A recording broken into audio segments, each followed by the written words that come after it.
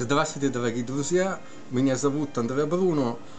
Сегодня это день перед Рождество. 12 часов мы э, собираемся отмечать э, Рождество, потому что это самый э, настоящий праздник из вот этого года, который мы, который год, который прошло.